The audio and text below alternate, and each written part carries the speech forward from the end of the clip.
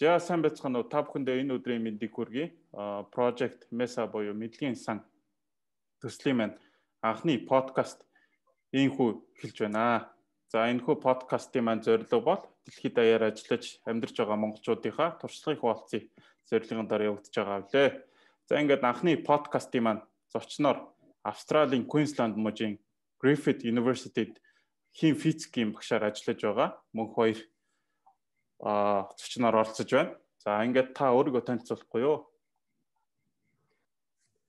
Аа сайн байцгаана. Намайг Батмхийн мөнхөр гэдэг. Би Австралийн Гриффит их сургууль физик химийн багш болон уг сургуулийн сэргээгдэх хэрчим хүч энергийн чиглэлийн судалгааны төвд ахлах судлаачаар ажилладаг байгаа. А миний хувьд 10 жилээ Дархуул аймагт энерги зохицолборыг төгсөөд Монгол Улсын их сургуулийн хим химийн сургуульд хим технологич мэрэгчлэр 2010 онд бакалаврын зэрэг хамгаалсан байна. Түүнээс хойш магистр болон докторийн зэрэгээ Солонгос болон Австрали улсад а буюу докторийн зэрэг атлетик их сургуульд Австралийн атлетик сургууль 2017 онд хамгаалсан байна. Түүнээс хойш Австралийн гурван их сургууль буюу Queensland их сургууль, Flinders их сургууль, Griffith их сургуульд ажиллаад байгаа. А одоогоор одоо яг миний хийж байгаа судалгааны ажлын хувьд бол одоо сэргээгт хэрчим хүчтэй холбоотой буюу нарны зан гэрэл болон хэрэгцээт химийн нэгдэл гаргаж авах туршилт судалгаануудыг хийдэг байгаа. Гэр бүлийн хувьд ам бүл дөрүүлээ эхнэр хоёр хүүгийн хамт Австралийн Gold Coast хотод амьдарч байна. А юу Монгол төгсчөөд тэгээд дараа нь солонгос очсон шүү дээ. Тэгсэн. Тэгээд тэр нь тэтгэлгээр байсан уу?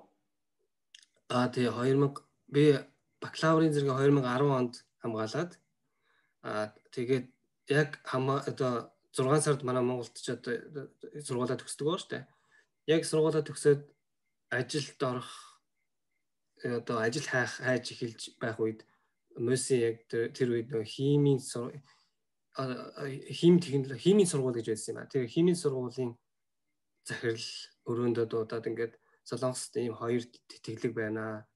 Одоо явах боломж байна уу гэд асууж ирсэн. Тэгээд тэр тэтгэлгийг аа аваад магистрийн зэрэгтээ сурахаар явж ирсэн байна. Тий. Аа. Засгийн газрын тэтгэл байсан тий. Аа. тэгээд тэнд шууд Солонгост байж байгаа тэндээс Австрали руу дараагийнхаа зэргийн. Тий би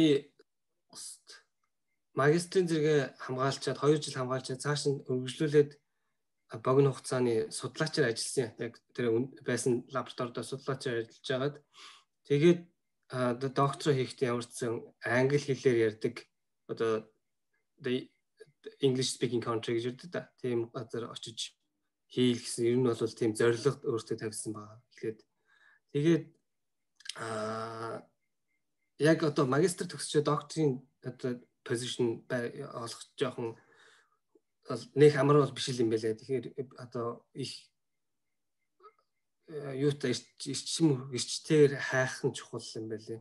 Би одоо миний бодлоор ямарсан дор хаяж нэг 150 хүн лөө хүн лөө гэдэг нь профессорууд руу Америк, Канада, Швед, Швейцар, Австрал, Англи гэсэн орнууд руу профессоруудын мэйл хаяг нь одоо өөрийнхөө яг мэрэгчлэр ингээл Google-д шааж байгаа бол мэйл бичсэн. Заримнаас хариу ирэхгүй, заримнаас нь хариу ирнэ.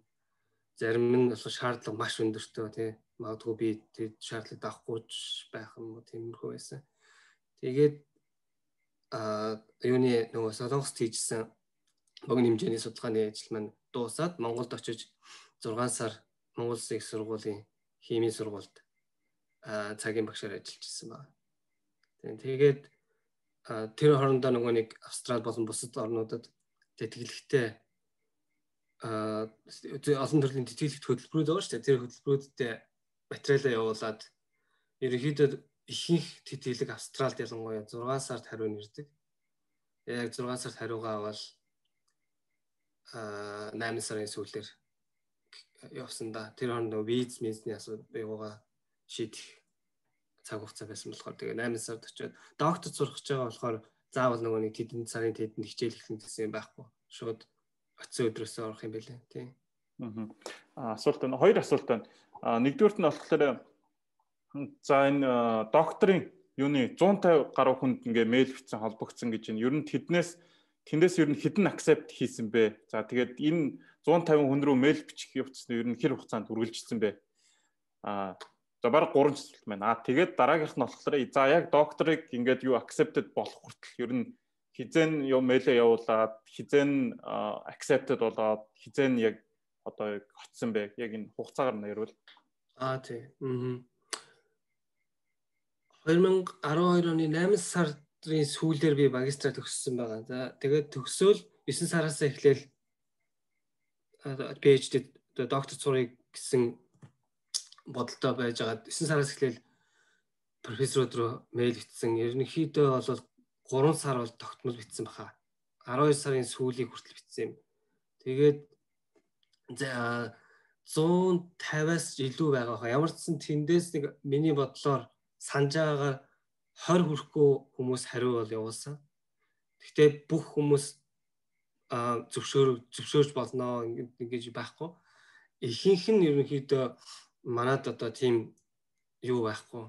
Сул орон зай бол одоогор байхгүй байгаа. Тэдэн жилийн дараа холбогдно энэ төр гэдэг тиймэрхүү байдалтай хариунууд их ирж ирсэн. Даад яг санаж байгаагаар одоогор Канадын University of Western Ontario гэсэн сургууль байгаа. Тэндээс нэг профессор тэтгэлэгт юм аа сургуулийн тэтгэлэгт юм аа явуулна уу гэд би бол зөвшөөрж байна тэтгэлэг авах чинь чиний өөрөө ч одоо ингээд юу шүүлтүр байгаа байгаа тэгэхээр тэтгэлэгт юм аа явуулж болно. Би бол зөвшөөрж байна гэд тэндээ анхны зөвшөөрсөн байдал тэндээссэн тэгээд дараагийнх нь бас яг мөн адил. Бүгд зөвшөөрж байна гэдэг нь ерөөхдөө тэтгэлгийг шууд өгчөж байгаа юм биш л дээ.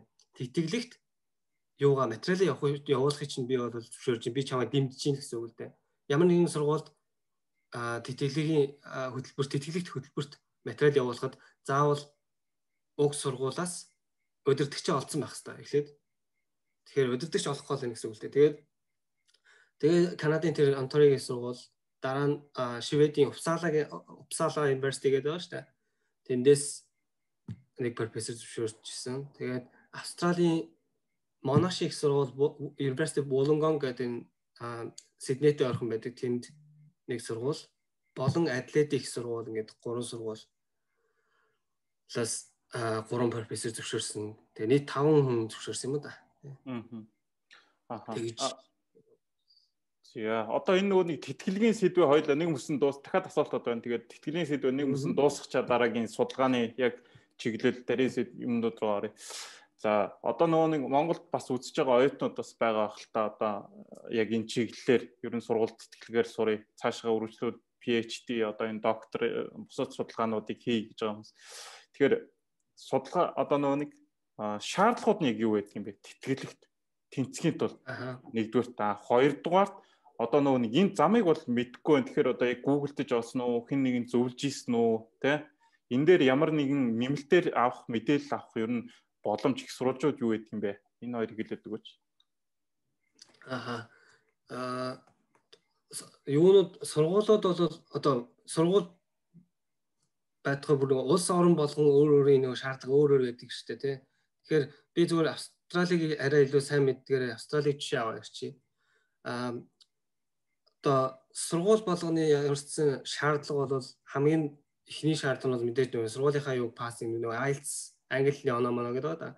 IELTS-ийн зарим сургуулиуд 6.5 байдаг. Зарим сургууль цөөхөн хэдэн сургууль IELTS-ийн 6 оноо гэж шаарддаг байгаа. Тэр IELTS-ийн оноогоо тэр GPA буюу нөгөө голчтон байдаг шүү дээ. Магистр болон бакалавр. Бас тэр голчтон одоо дөрөв Монголд болохоор хамгийн дээд нь дөрөв гэж байгаа шүү дээ. Дөрвөөс одоо 3-аас дээш байх хэрэгтэй гэсэн шаардлага тавигдчихж байгаа гэсэн үг. Аа тэгээд дахиад тавигдах зүйлүүд нь гэх юм бол өмнө нь судалгаа хийж байсан байдал. Жишээ нь одоо Монголд их их оюутнууд яг ингээд бакалавр сурж байхдаа сүүлийн жилээ буюу дөрөвдүгээр курстэй диплом бичихтэй бусад профессоруудтайгаа багш нартайгаа хамтарч судалгаа их боломж их гардаг. Ямар ч Монгол Улсын сургууль бол тийм боломж маш их байдаг. Тэр боломжийг маш сайн ашиглах хэрэгтэй юм билээ. Тэр боломжийг ашиглаад судалгаа хийж байсан гэсэн тийм одоо юу аавна гэсэн үг шүү дээ. Experience аавна гэсэн үг шүү дээ. Тий. Тэгээд бүр сайн болж өгвөл нөгөө нэг publication буюу олон улсын сэтгүүлд өгүүлэл хэвлүүлсэн байх. За өгүүлэл хэвлүүлдэггүй маа гэхэд дор хаяж нэгээс хоёр хуралд эрдэм шинжилгээний хуралд дотоодын болон гадаадын хуралд оролцсон байх хэвээр. Тэднэр нь бол ерөнхийдөө тэтгэлэгт бол маш өндөр оноо болдог байхгүй. Яагаад гэвэл тэтгэлэг яаж яг шалгуултанд явж байна гэхээр тэр нөгөө нэг IELTS-ийн оноо манай авч байгаа юу чинь зүгээр л тэр сургуулийн босхийг авч байгаа шүү. Тэрнээс бол өөртөө бонус бонус нэмээд байгаа юм бол байхгүй байхгүй. А тэгэхээр бонус нэмж хүнээс бусдаас бусад одоо 200 хүн apply хийж байгаа бол тэр 200 хүн бүгдөө л IELTS оноотой байхгүй. Тэр бусдаас одоо өөр харагдахын тулд тэр нөгөө нэг олон улсын юунд оролцсон одоо хөвлүүлсэн байрлал байдал гэх тиймэрхүү юм маа гаргаж ирэх хэрэгтэй байгаа байхгүй. За тийм юмтай хүмүүсийг хамгийн ихэнд тиклээд аваа аваа явчих юм гэсэн үг л дээ. Одоо жишээ нь 200 apply хийгээд 50 хүн 50 scholarship өгнө гэж тэгсэн байж исэн чинь а тэн дундаас 30 хүн тийм одоо марктай байх юм бол тэр 30 бол шууд автоматар баг тэтгэлэг авна гэсэн үг шүү дээ. Тэгнэ гэсэн үг юм да. Тэгээд үлдсэн хүмүүс нь үнэхээр тэр 20 хүн байхгүй бол нөгөө нэг голч оноо моноод юу гэдгийг тэдрийг харж байгаа юм гэсэн. За түүнээс гадна бас аа нөгөө нэг удирдах өөрөө ч одоо ингээд PhD-д сурах гэж байгаа, доктор сурах гэж байгаа чи удирдах хүн байгаа шүү дээ, supervisor буюу professor гэдэг хүн байгаа. Тэр хүний хүнээ маш зөв сонгох хэрэгтэй юм байна лээ. Тэр хүн чинь зарим хүмүүс бол маш нөлөөтэй супервайзеруд байна. А одоо яг нөлөөтэй гэдэг нь юу гэсэн үг вэ гэхээр тэр сургуулийн одоо шинжилгээ ухаан тэр судалгаа яваад байгаа тэр байдал сайн байгаа байдал нь зөвхөн баг тэр хүнээс хамаарат байгаа юм шиг тийм. Болж игэл тийм хүн олж аппликейшн бүглэх юм бол одоо сургууль тэр хүндээ олон оюут өгөх сонирхолтой байдаг юм байлээ. Тэ одоо жишээ нэг дунд зэргийн яг average дунд зэргийн профессор байлаа гэж бодъё л да. Тэгэхээр тэр хүнд одоо жилд ойролцоогоор хоёр оюуттай тэтгэлэг өгж байгаа бол нөгөө нэг аа сайн гэдэг профессорт болохоор нэг магадгүй 10-аас дээш тэтгэлэг өгнө гэсэн үг шүү дээ. Тий. Тэгэхээр тийм боломжуудыг сайн ойлгох хэрэгтэй. А зөвлөгөөний хувьд бол а одоо Google-ийг бол маш сайн ашиглах хэрэгтэй. Би бол Google-ээр айгүй их юм хайдаг. Тэгэл хайсан юм аяхийн ер нь бол 90-ээс дээш хувь нь бол олчдөг юм аа. Тэгээ анх энд ирэхдээ нэгт нөгөө нэг магистр сурж байсан гэдэг шүү Солонгос. Тэгэхэд нөгөө олон гадаад оюутан байсан. Тэр үед би тийм Google Google тэгж сайн ашиглахыг мэддгүү. Тэр гадаад оюутнууд одоо жишээ болж байгаа байхгүй тэр хүмүүс надад жишээ болж тэр хүмүүс одоо ингэж юу хайж байна бид нар ингэж хайж байна гэд. Тэр хүмүүс бүгдээрээ бас гадагшаага өөр газар докторт одоо явах сонирхолтой. Тэгэл хайгаа тэднээс хүлгэр жишээ аваад яаж хайх яаж явах. Тэгэл сургуулийн вебсайт руу орно. Одоо ямар сургууль яг явмаар байна те? Одоо австрал улс руу явмаар байвал австралийн сургуулиуд руу ороод ранкинг харна. Ранкинг харж байгаад одоо хамгийн том мундаг сургууль нь юу байдгийг тэр лөө ороод тэр сургууль руу орлоо. Сургуулийнхаа вебсайт руу оргууд сургууль болгон дотроо school юм уу одоо faculty ч юм уу юу гэдгийг тэр салбар болгоно ингээд хуваагдсан. Одоо бүх сургууль нь гой гой тийм тодорхой веб хуудастай болсон байгаа шүү дээ. А тэндээс ороод яг яах юм бол бүх профессоруудын нэр нь юутай гарч ирнэ одоо бол а ажиллаж байгаа сэдвтэйг тэр профессор бүр оюутан хайж ийн үгүй юу гэдг нь хүртэл гарч ирэх байхгүй юу. Яагаад оюутан хайж ийн гэдэг нь гарч иж байна гэхээр жишээ болгоод Австралиг ярьчих дахиад Австралийн нөгөө нэг шинжлэх ухааны одоо яг гол тэтгэлэг санг өгдөг тийм 2 3 газар байдаг байхгүй юу. Ер нь бол их сургуульчин ранк нь одоо өсөж дээшээ доошоо явж байгаа нэг чухал одоо шаардлага оноо нь бол тэр сургуулийн хийж байгаа судалгааны ажлын байдал шүү дээ. Шинжлэх ухааны байдал тийм. Тэрийг юу ахын дээшүүлэхийн тулд гаднаас буюу засгийн газараас юм төсөл авдаг байхгүй. Тэр төсөл авдаг газрыг Australian Research Council буюу Австралийн шинжилгээ ухааны сан гэж нэрлэдэг юм а. А тэндээс их их төсөл авдаг. А тэр төслийг авж байгаа профессорууд нь айгүй тийм сайн байна гэсэн үг л дээ. Мундаг байна гэсэн үг. За тэр төслийг авсан хүн төслөө 4 жилийн дотор юм уу 3 жилийн дотор гүйцэлдүүлэх хэрэгтэй. Тэгэхээр тэр төслийг гүйцэлдүүлэхийн тулд тэр профессор ганцаараа гараараа ажиллаад дэлгэхгүй шүү дээ хамгийн гол нөгөө нэг ажиллах хүн бол PhD оюутан байна гэсэн юм. Тэгэхээр тэр төслийг авсан хүн мөнгөтэй байна гэсэн үг. Мөнгөтэй байна гэж чинь PhD оюутан, доктор оюутан хайж байна гэсэн үг. Доктор оюутан хэрэгтэй байна гэсэн. Тэгэхээр одоо жил болгоны ингээд 11 сар юм уу 10 сард энэ Австралийн шилүүгааны сангаас явдаг энэ том энэ гарант төслийн шалгаруулалт нь үр дүн гардгийг. Тэнгүүд л одоо ингээд сургуулиудын вебсайт орно уу эсвэл ингээд Австралийн нөгөө ажлын одоо зар мар байдаг тийм газрууд байгаа шүү дээ. Тиймгүй одоо хуудас руу орох юм бол тийм зарнууд бүр маш ихээрээ бүр ихсдэг. Одоо зүгээр ингийн хэд дахин ихсдэг байхгүй. Ягаад гэвэл хүмүүс төсөл авцсан тэгээд хүн хайж гин гэсэн. Тэр аль болох хурдан хүн олж байна гэсэн байхгүй. А одоо нөгөө нэг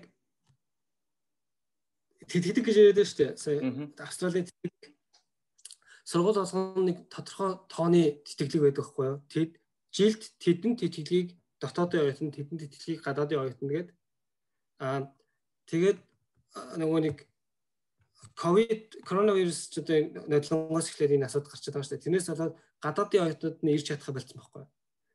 Тэр гадаадын оюутнуудад тэтгэлэг өгч тэр оюутнууд ирж сургууль нийт жилд одоо жишээ нь 200 оюутан заавал тэтгэлгээр оруулах хэрэгтэй гэсэн чинь тэр нь тасалдаад байгаа байхгүй? А тэгээд а одоо яаж байгаа вэ гэхээр энэ жил нөгөө гадаад гадаад оюутнууд өгдөг тэтгэлгээ зогсоочсон одоохондоо. А тэгвэл яасан бэ гэхээр дотоодд байгаа дотоод оюутнууд одоо энтхийнхаа оюутнууд гэсэн үг шүү дээ. Тэр оюутнуудаа тэтгэлгийг олон тооноор өгнө гэдэг байгаа. Гэвч сайн тал нь гэх юм бол дотоод гэдэг нь зөвхөн Австралийн нөгөө нэг иргэн биш. Австралид оршин суугаа гадаад оюутнууд энд хамрагдах боломжтой юм байлээ. Тэгэхээр харин тийм хүмүүс байвал боломжгүй маш зөвхөн манай мэрэгчлэр биш шүү дээ.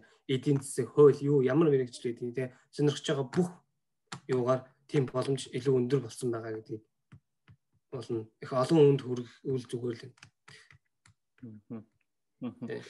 За за за. Тэгвэл ерөнхийд тэтгэлгүүдийн талаар ерөнхий мэдээллийг одоо болчихж байгаа гэж ойлгож байна. Тэгээд Таны одоо судалгааны тухай ярилцъя. Таны одоо яг энэ судлаад байгаа, ажиллаад байгаа энэ яг яг юу вэ? Энийг бас та гоё дэлгэрэнгүй тайлбарлаад өгч хөө. Аа.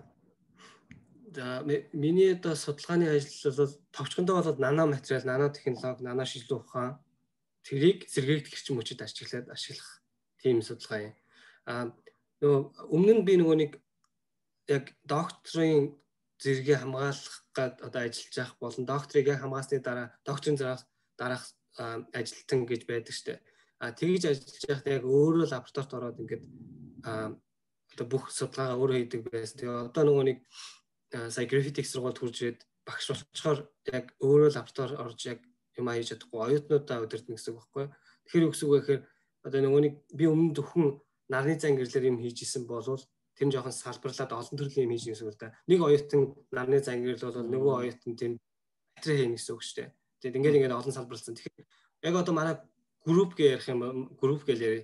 Тэгэх юм бол а яг хийж байгаа хоёр том энергитэй холбоотой судалгаа гэдэг. Нэг нь тэр нарны зан ялтас а нөгөөх нь цахилгаан хэмжээ оруулаар чухал химийн нэгдлүүдийг гаргаж авах. За жоохон тодруулж ярих юм бол нарны зан ялтас гэдэг нь маш нэмгэн аа тэгээд бас ингээд хомигдож байрж болдог тийм илүү одоо манай дээвэр дээр байдаг нөгөө силикон панелууд байдаг да. Тэд ер нь халж өөр шин технологи оруулах гэдэг нь гэсэн үг л дээ. Тэр силикон технологиуд чинь маш өндөр үнэтэй кристалл силиконыг бүтцтэй тийм кристалл бүтцтэй үнэтэй силиконыг ашиглаж хийдэг байхгүй юу. Тэгэхээр тэрний одоо тэр дээр байгаа дээвэр дээр байгаа панелууд чинь их үнэтэй байгаа нэгт. Хоёрт 15-аас 20 жилийн настай гэж байгаа. Тэгэхээр 15-аас 20 жилийн нас дараа тэднийг яг хаашаа хаях уу дахиж ашиглах боломжтой юу гэдэг асуултууд одоо хүртэл явагдаж байгаа байхгүй. Тэгэхээр шин технологи их чухал хэрэгтэй болоод байгаа. А шин технологиг нээж нээх а яагаад хэрэгтэй вэ гэхээр бид заавал тэр наны зан гэрлийг яг дээвэр дээрээ тавиад ашиглаад авахгүй. Шууд шилэн дээрээ наач одоо гэрний гэр албан байгууллага ч юм уу юу гэдгийг тэр шилэн дээрээ наачж болж байна. Яг тэгвэл тэр нь ингээ нэгт харагдах байдалтай байхгүй нөгөө тэр дээвэр дээр тэг панел шиг биш нимхэн нэгт харагдана. Тэгээд нарны гэрэл ирэхээр ингээд өнгөө өөр ингээд хөврөх чадвартай тийм хөө олон янзын чадвартай. А мэдээж бид нар яагаад судалгаа хийгээд байна энэ яагаад яг хүний одоо амьдралд орохгүй байна гэдэг нь мэдээж тэнд асуудал байгаа. Тэгээ асуудал нь номер 1 асуудал гэх юм бол нарны одоо дээвэр дээр байгаа силикон ч одоо нарнаас ирж байгаа гэрлийн 15-аас 20%-ийг гэрэл болгож хувиргаж чадж байгаа шүү дээ. Гэвч одоо яг бидний хийгээд байгаа юм зарим нь ойролцоогоор 10% ч юм уу тий.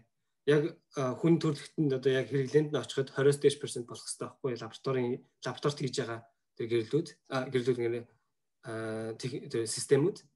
Тэгэхээр тэрэн дээр жоохон ажил хэрэгтэй. Хоёрт гэх юм бол зарим нэг материал нь жоохон хортой материал хэрэгжилж байна. Тэр тэр хортой байдлыг бууруулах хэрэгтэй байгаа.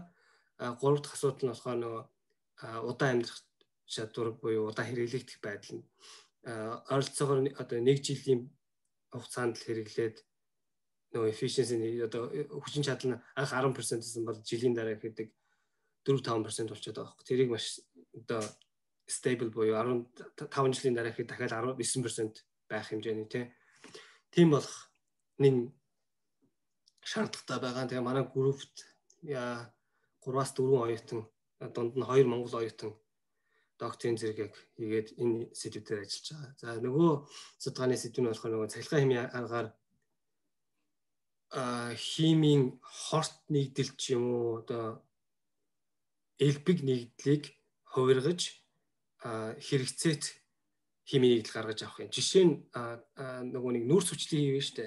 CO2 гэх. CO2-ыг одоо өөртөө шингээдэг материал бид нэр ингээд хийгээд байгаа байхгүй юу? Яг өөртөө ингээд агаар дахь CO2-ыг өөртөө шингээж аваад тэрийг бүр ингээд цахилгаан хэмжээ аргаар ингээд хувиргаад а урвалд одоо оруулж ийн гэсэн үг л дээ. Тэгээд CH4 ч юм уу одоо бүр дизель түвш мөс гаргаж авах боломжтой гэсэн үг байхгүй юу? Тим туршилт хийдэг байгаа. А дахиад нэг нь болохоор агаар дахь азот байгаа шүү дээ. Одоо дэлхийн нийт гадаргуу дээр байгаа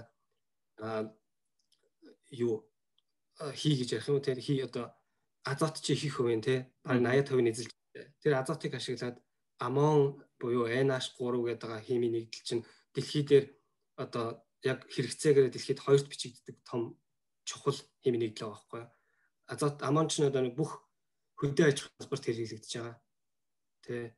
Бидний хийж байгаа энэ төмс юмс бордоо бордоонд хэрэглэгддэг хамгийн чухал юм байгаа.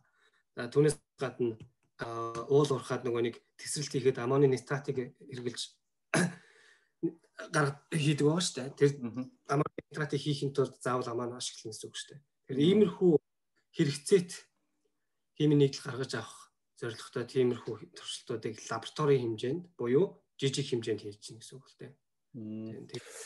За бас за бас зарим юм бас нэг энгийнээр бас тайлбарлахгүй бол зарим хүмүүст маань бас ойлгомжгүй. Надад ч бас зарим нь би ойлгосонгүй. Гэхдээ ерөнхийд нь төсөлж байна. Тэгээд асуулт байна л нөгөө нэг одоо таны харж байгаа одоо эдгээр судалгаанууд ер нь ямар процессын хувьд ер нь хэдий орчим хаанаа явж байна вэ одоо ихэн дунд тэ гэдэг ч юм уу төгсгөл гэдэг ч юм уу ер нь хэдий хугацаа байгаа вэ?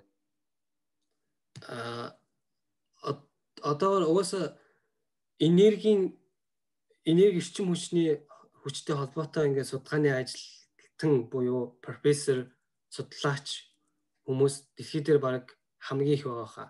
Яг одоогийн байдлаар. Яагаад гэвэл энерги эрчим хүч чинь одоогор хамгийн hot topic болчиход байгаа шүү дээ. Тийм тийм болохоор маш олон хүн судалгаа хийж байгаа. Олон хүн байна гэдэг чинь энэ юг салбарыг хамтдаа хурдан явуулж байгаа гэсэн үг байхгүй. Тэгэхээр эрчим хүчний одоо яг судалгаа судалгаа буюу одоо жишээ нарны зан гэрэл төр шинэ технологийн нарны зан гэрэл бол маш эрчим эрчимтэй явагдаж байгаа. Ойролцоогоор одоо хүн төрөлхтөнд одоо яг ингээд хэрэглээнд очиод бидний гар дээр ирэх хугацаа бол нэх холгүй 10 жилийн дотор байгаа. Тэ. А өөр зарим компаниуд бол гадаадын зарим нэг компаниуд бид нар ингээд хийгээд эхэлсэн айл хэдийн тэ. Хортой байдал байдлыг нь бол ингээд бүр хучаад битүү ингмаар ороогоо тэрийг ингээд хүний амьсгалд хүрэхгүй тийм хортой байдал нь хатсан. Тэгээ энэ тэргээд хийгээд эхэлсэн юм яриад байгаа аахгүй зарим газрууд. Одоо тийм мэдээллүүд хаанаас ирдэг гэхээр хуралд орохоор амар их тэгэж яадаг. Сүүлийн одоо нөгөө нэг энэ жил болон нодлон жил хурал нэх болсонгүй нөгөө нэг ковидээс болоод тэгэхээр одоо бол бүр их юм хийгдсэн баг гэж бодож байна тий.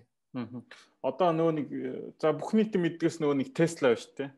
Tesla нөгөө нэг дээвэр дээр бас ийм соларын панел одоо ингээд байршуулна гэдэг. Тэд нар бас яг төвшөлтөд технологи байж чадах та хэдийн одоо судалж байгаа юм байна хэрвээ одоо юу гэдгийг болоод бүтээд боловсрогдоод дуусчих юм бол ер нь Tesla за бусад commercial компаниуд ер нь бол тэр юуг ашиглах боломжтой юу? Тий, юу штэ одоо Tesla-гийн Tesla болон бас хэд хэдэн компаниуд байдаг юм а. Тэд нэр тэр дээрээ тавиад байгаа нөгөө юунууд чинь нөгөө том том том силиконы панелууд байгаа байхгүй. Тэр чинь машин дээр тавьчихыг асал онцгой харагдаж байгаа байхгүй юу? Бидний яг хийж байгаа юмыг ингээд яах юм бол зүгээр л нэмгэн нэг ийм хулдаас байхгүй юу? Тэр хулдаасыг цогон дээр наах ч юм уу эсвэл зүгээр дээвэр дээр ингээд ухчаал яачхад бол машиныг бүр өнгөтэй гоё харагдуулна гэхээс тэгэж дээвэр дээр юм тавиад тэг юу аахгүй. Тэгэхээр компаниуд бол хэрвээ энэ одоо бидний хийж байгаа юм яг ингээд бодит байдал дээр хүрээд тэг хэрэглээ хэрэгжүүл тэр очих юм бол энэ компаниуд бүгдөө бүгднгийнх нь анхаарлыг маш ихээр татна уу? Татах байгаа. Тий. Тэгээд ааха. Оо дараагийн асуулт асуучих юм уу? За. За одоо нөгөө нэг Австралийн засгийн газрын нэг санхүүжүүлээд байгаа шүү дээ энэ судалгаануудыг. А тэгээд эргээгээд Австралийн засгийн газар яаж ашиглах хүртээд байна? Технологийн л ашиглаад юу яагаад байна гэсэн үг үү? Тий. Одоо Австралийн засгийн газар Жишээ нь миний түрүүний хэлсэн ARC гэдэг Australian Research Council жилд аа нэг хэдэн бэ 3 хэдэн биллион доллар зарцуулдаг байгаа. За тэгээд их хэмжээний мөнгө шүү дээ. Зөвхөн тэр биш. Тэрнээс гадна олон олон юунууд байгаа байхгүй юу? Тийм аа эйженси гэх юм уу? Тэгээд тэр бүгдөө ингээд маш их судалгаанд мөнгөө зарцуулдаг.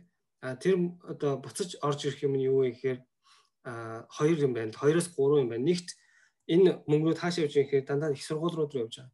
Их сургуулиуд руу явж байгаа гэж чинь их сургуулиудын нэр хүндийг дээш нь өсгöd юм шүү дээ. Одоо сайн судалгаа хийгээд явах юм бол нэр хүнд өснө.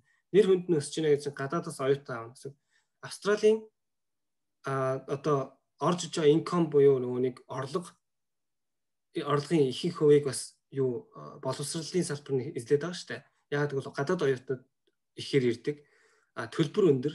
Одоо сургуулийн төлбөр бол ойролцоогоор 30 мянга штэ. Зарим бүр нөгөө нэг топ сургуулиуд нь буюу нөгөө Мельбурн их сургууль, Монаsh их сургууль, Сидней их сургууль нөгөө мундаг том сургуулиуд байгаа. Тэдний төлбөр бол 40 мянга хүрсэн байгаа. Тэ. Тэгэхээр оюутнуудыг нааш өөрсдөө татчихна гэсэн үг л дээ. Тэгээд тэр нэг давуу тал болж байна. Тэр мөнгөөрөө бол тэгэл нөгөөний зарцуулсан юугаа хийж юугаа байгаа барьчиж байгаа л байна. Тэ. А тэрнээс гадна а технологи гаргаж чадж байгаа байхгүй. Энэ Австралийн одоо судлаачид маш олноороо маш их технологи, шин технологиудыг гаргаж байна. Одоо саяны миний хэлээд байгаа энэ шин төрлийн нарны зан технологиуд байгаа шүү дээ. Энэний одоо дэлхийд дээрх баг номер 1 компани буюу бүх материалуудыг хийдэг компани Австрал байхгүй анхны компани. Тэндээс гарсан. Тэгэхээр технологиудыг их гаргаж байна. Тэг. Аа өөр тэгээд эрүүл мэндийн салбарт маш их мөнгө хайдаг. Одоо судалгаанд. Тэгээд тэгэхээр Австралийн эрүүл мэндийн салбараас хүчтэй хүчтэйгээ одоо хүчтэй шүү дээ. Одоо жишээ нь одоо ковид гарсан байхад Австрали бол айсан шинжгүй ч юм уу одоо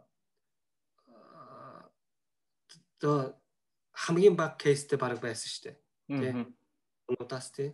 Тэгэхээр тиймэрхүү юм байна. Аха. За одоо дараагийн асуулт. Нөгөө нэг одоо өмнө судлаачаар ажиллаж байгаад одоо болохоор нөгөө нэг бага оюутнуудаа удирдаад ажиллаж байгаа гэхэлэр чинь та одоо баг юу их гэж байгаа юм шүү дээ. Тэтгэлэг өгдөг болох гэж байгаа юм шүү үгүй юу? Аа юу нөгөө бид өөх өөх боломж бол байгаа л да. Гэхдээ нөгөө нэг яг нөгөө гарант авах нөгөө төслөө авах хэрэгтэй шүү дээ. Тэгээ төслөх юм бол мэдээж оюутан хайж эхлэн гэсэн. Тий. Би одоо яг нэг төсөлд юм явуулсан байгаа. Тэгвэл ингээл Монголоос оюутнууд хандаад юу гэж болох нь шүү дээ. Докторийнхаа судалгаа хамтарч хий, тий. Тий. Аа. За тэгвэл э, асуултаа яг багийнхнаасаа яг юу харж байна? Одоо яг өөрөчөө удирдлагын доор ингээд докторийнхоо энэ судалгаа хийя гэвэл яг юу харах вэ? Аа хамгийн чухал нь одоо хүмүүс бол ингээд амар hard working хийдэг хүн хэрэгтэй мэрэгтэй одоо гэдэг байгаа байхгүй. Тэгээ миний бодлоор жоох өөр үү. Би бол тэгж бүр өдөр шөнөгүй амар хатар ажиллаад байдаг хүн бол одоо номер 1 гэж бол үздэггүй л дээ.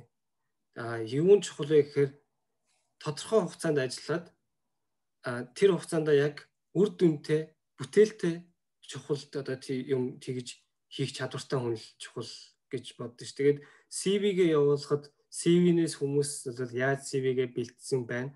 Тэрнээс нь бол ажиглагддیں۔ ер нь.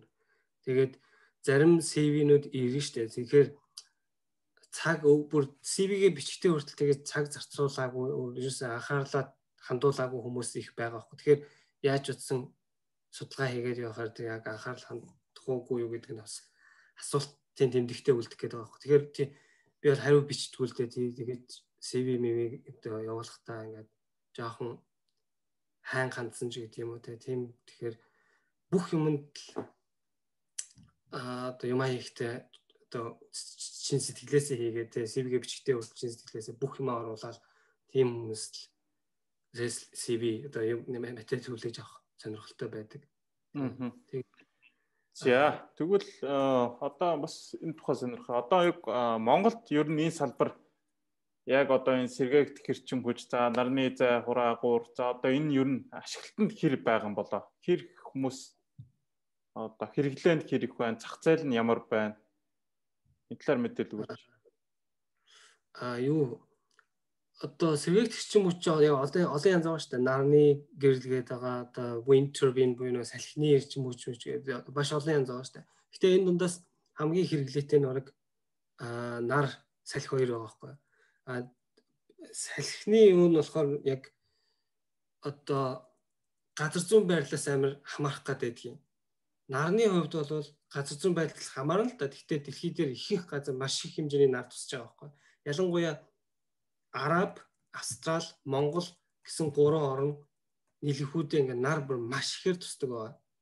Тэгэхээр энэ гурван газар юу хийх нэг нарны цахилгаан станц хийхийг одоо ер нь бол амар их тэгж ярилцдаг байхгүй юу?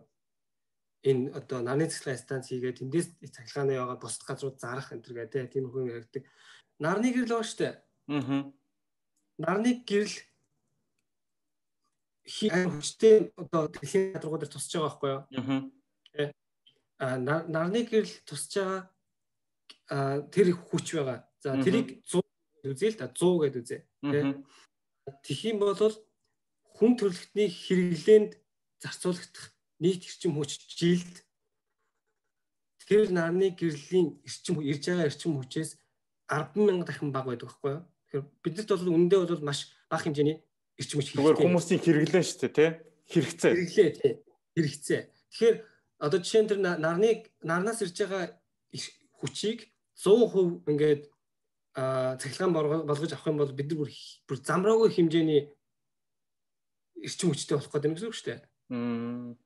Гэхдээ тэгж чадахгүй байгаа байхгүй юу?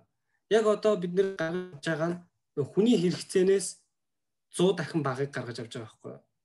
Тэгээ бусдын нь бол өөр аргаар гаргаж байгаа шүү дээ. Нөгөө нэг нүүрс мөрсөө төлөлдөг ч юм уу тэр нэг а шатаах одоо юунд станцт тий нүүрс шатааж тэгж гаргаж авч байгаа шүү дээ. Тэрнээсээ үүдээд нөгөө нэг юуны карбон юу хорт хий утаанууд гаргаж ийн тэгээ байгаль орчин бохирдж ийн гэдэг зөндөө олон асуудал байгаа шүү дээ.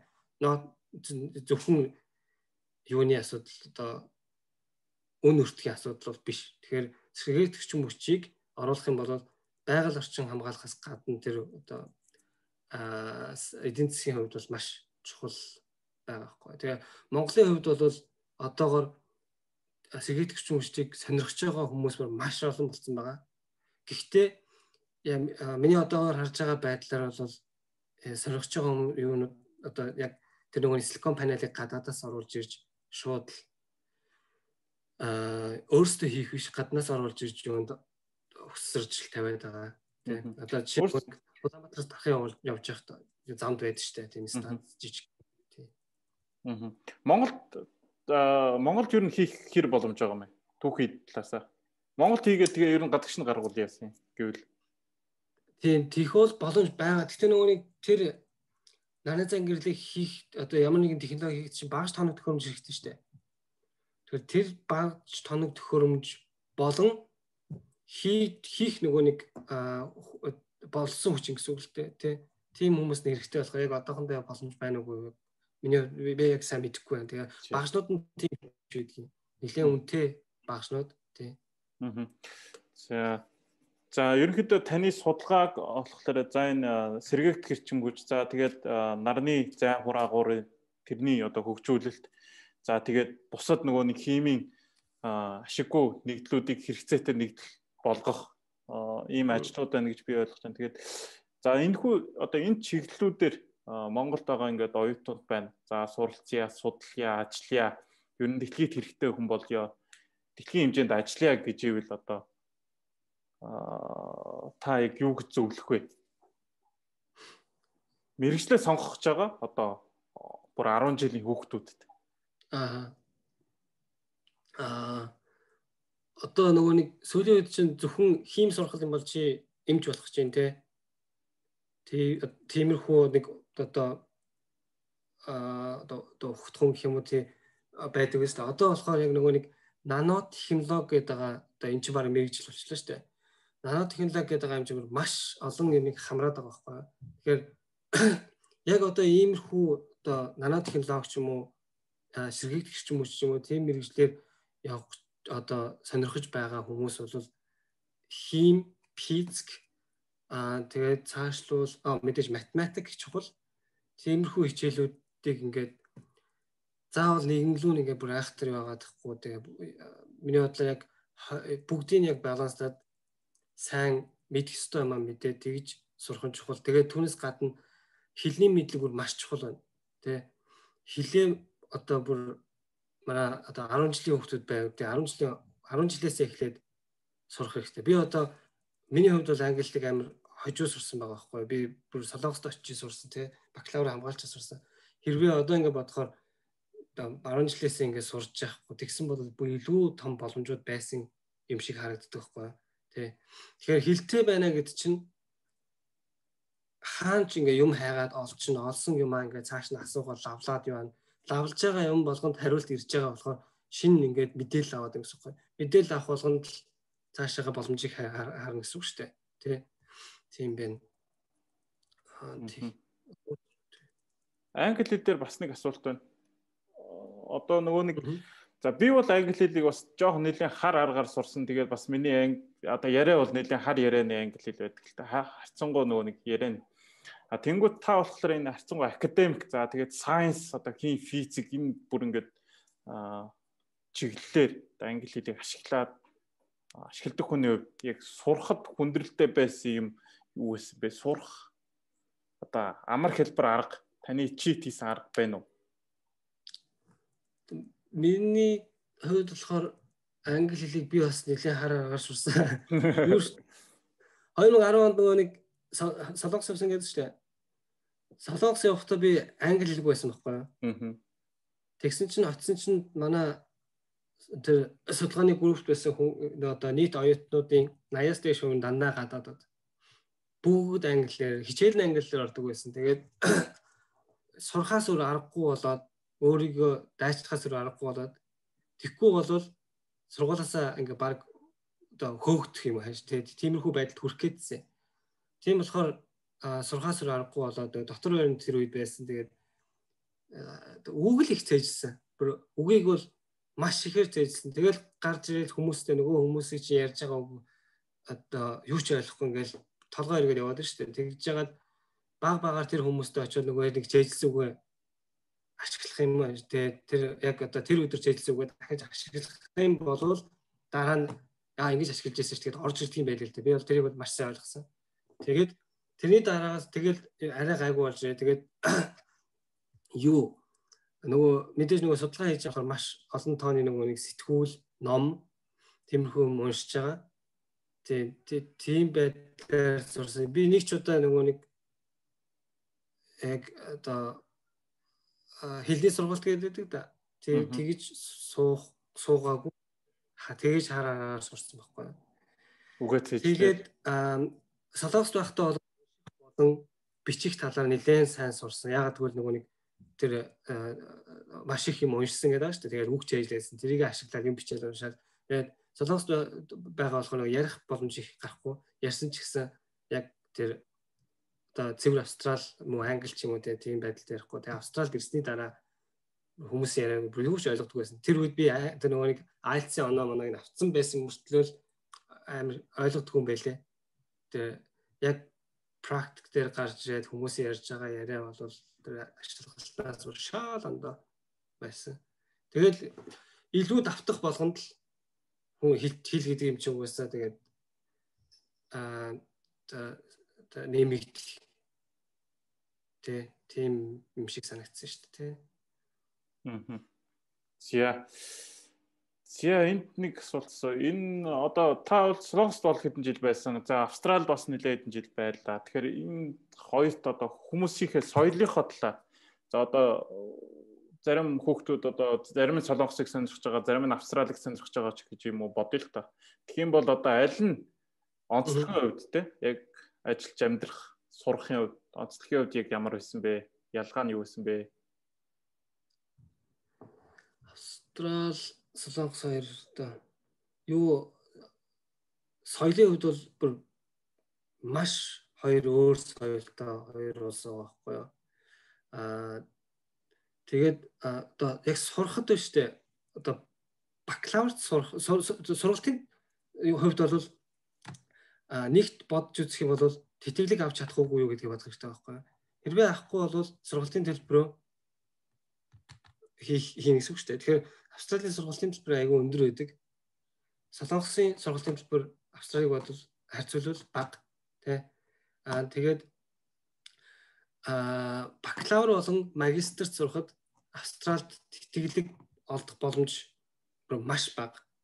Ялангуяа бакалаврт бол тэтгэлэг олдох боломж бараг байхгүй гэж хэлэхэд бараг болно. Харин солонгосын хувьд бол магистрт сурахад тэтгэлэг олоход айгүй их боломжтой байд юм байлаа.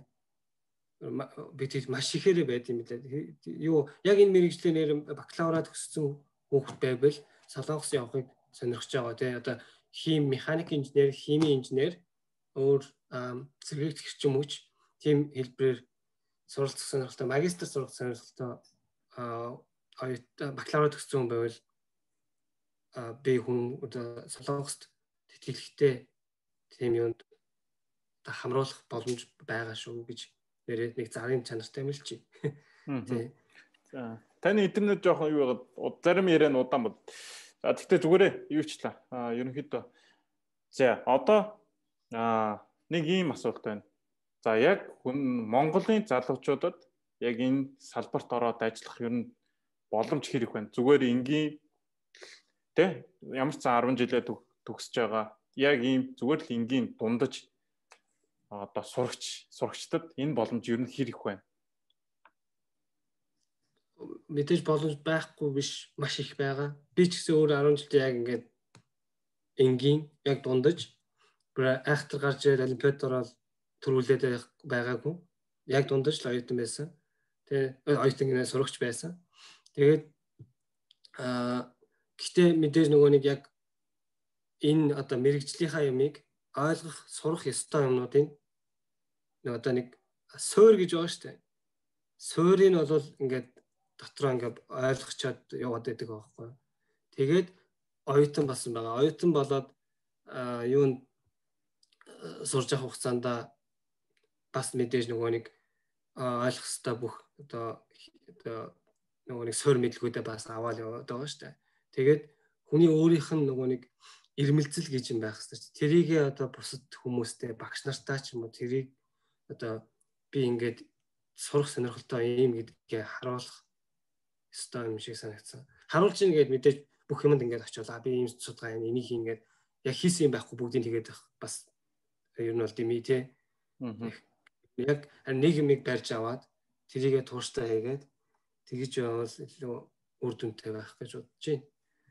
Тийм тэгээд миний яг өөрийн хувийн бодол болохоор а 10 жил төгсөж байгаа хүмүүс бакалаврыг Монголдо хийсэн илүү үр дүнтэй гэж би боддоггүй. Яг тэгвэл би өөрөө ч Монголд хийсэн бакалавра. Тэгээ манай Монголд багш нар их сургуулийн багш нар маш мэдлэгтэй дандаа гадаадд хамгаалсан хүмүүс Монголд багш ялангуяа Монгол их сургууль болон шилүү ухааны технологийн сургуульд дандаа гадаад хамгаалсан багш нар байдаг. Тэгээд мэдлэгийг маш сайн өгдөг юм байлээ. Өөрийнхөө их хэлээр мэдлэгийг ойлгочноо, авчнаа гэдэг чинь тэр хизээч арилахгүй байхгүй юу? Тэгэхээр би бол ерөөсө гадаадд бакалаврыг хийх гэж явна гэхийг айхтар дэмждэг хүн бол биш. Харин бакалавра Монголдо хийчээд бүх мэдлэгээ хурааж авчаад цаашаагаа ингээд сайжруулах гэсэн үг шүү дээ. Дээшлүүлэх, мэдлэгээ дээшлүүлэх гэсэн үг шүү дээ. Тэрийг харин гадагшаага явж ийх юм бол илүү зохимжтой гэж би би дотроо тэгж боддог. За тэгэд миний ойлгож байгаагаар бас одоо за энэ судалгааны чиглэлээр за хим физикийн за ялангуяа химийн судалгааны чиглэлээр одоо ингээд ажиллахад ер нь бол анханасаа л химийн суурь аваад тэгээд цаашгаа үргэлжлүүлээд судалгаагаа игээ чиглэлээ тодорхой болгоод явна гэж би ойлгож байна зү. Дундаас тэгж орно орно гэж бол хэцүү юм биш тийм. Аа тий ер нь бол химийн сөр мэдлэг болон эсвэл физикийн сөр одоо хим физик хоёр ч хоорондоо маш том уялдаа холбоотой байгаа байхгүй. Химийн эсвэл физикийн сөр мэдлэгтэй байх хэрвээ тийм байх юм бол энэ имерхүүс одоо яг миний хийж байгаа шиг ийм судалгааны ажлыг хийхэд илүү амар байна гэсэн үг л дээ. Тэрнээс дундуур нь ороод хийж болно л да. Гэхдээ нөгөө нэг бидний одоо яагаад судалгаа хийгээд байгаа чинь дэлхий дээр одоо нээлт хийх юм уу те шин юмыг нээх сонирхолтой судалгаа хийж гэсэн үг шүү дээ. Тэгэхээр яг нөгөө суур мэдлэгээ сайн мэдэхгүй ойлгоогүй болохоор тийм одоо шин юмыг нээх нээлт хийх хэмжээний судалгаа хийх боломж бол маш бага гэсэн үг Аа. За за за. Окей. За баярлалаа. Тэгээд өнөөдөр цаг гаргаж манай подкастад орж бас ингээд мэдээлэл хийж байгаа судалгаа ажил. За тэгээд бас ямар боломжууд байгаа талаар ингээд мэдээлэл өгсөнд маш их баярлалаа. За тэгээд нэмэлт асуулт байвал таныг яг нөгөө аргаараа гуглдж олоод мэйл хаяг нь олоод бичиж бол болно өстэй тий хүмүүс. Аа. Одоо сая нөгөө гişээ хийх яваа гэдэг дээ. Би байг Google гişээ одоо жишээ нь надад холбогдохыг хүс одоо хүсэж байгаа надаас юм асуухыг хүсэж байгаа бол миний Google чинь тэгэхээр одоо миний утасны дугаар юм уу мэйл хаяг ч юм уу тэгээ бүх юм ер нь бол гарч гараад ирнэ шүү дээ. Тий. Сургуулийн юм веб гараад ирч болтгоо тий. Аа. За тэгэхээр энийг үзэж байгаа хүмүүсээс за асуух асуулт байвал ингээ дээр мэйл нь гараад ирнэ. Мэйлээр нь холбогдоод асуух асуултаа асууж болох нэ. За тэгээд өнөөдрийн дугаар маань энэ хүү өндөр ингээд өндөрлөж байна. Тэгээд танд маш их баярлалаа. За баярлалаа. За